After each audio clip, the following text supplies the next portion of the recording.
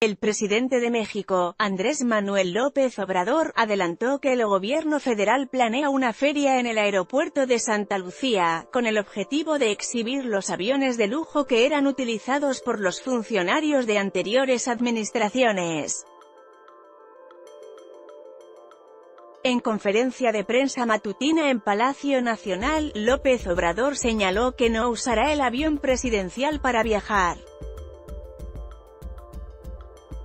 Además, comentó que dicha aeronave actualmente se encuentra en California, Estados Unidos, donde se puso a la venta. Por otro lado, indicó que la flota de aeronaves del gobierno federal, las cuales son aproximadamente 80, estarán disponibles para su venta en una feria en Santa Lucía, a la que se convocará a todo el mundo para que las adquieran. Estamos pensando en una feria en Santa Lucía para exhibir aviones de lujo.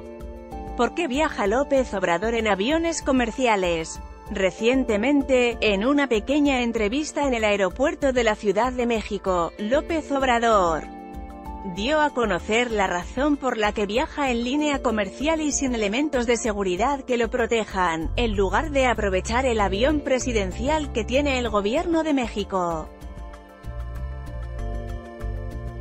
Ya basta de prepotencia, de fantocherías.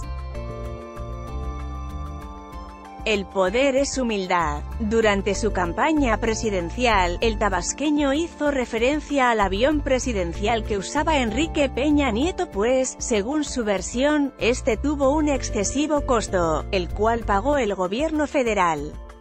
La nave realizó 214 operaciones mientras estuvo en funciones el priista, sin embargo ya no es utilizado, puesto que se encuentra en la ciudad de Victorville, en el condado de San Bernardino, California, a la espera de un posible comprador.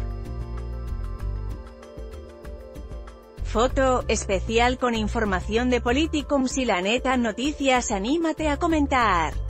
Queremos saber tu opinión. Comentarios powered by Facebook Comments.